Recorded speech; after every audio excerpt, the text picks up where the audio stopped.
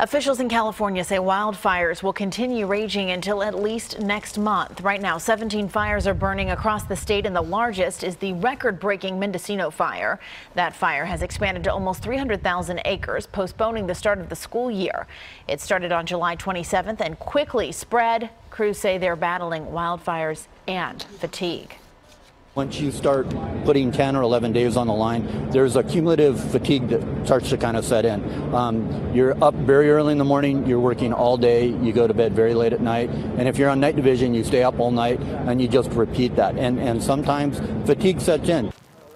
About 3,900 firefighters, including volunteers from New Zealand, are battling the fires. And coming up.